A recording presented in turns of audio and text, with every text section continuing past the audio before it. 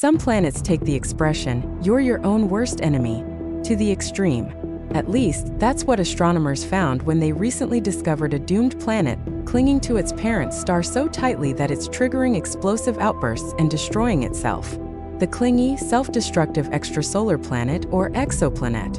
In question is called HIP 67522b. It orbits a young 17 million year old star so closely that one of its years lasts just one Earth week.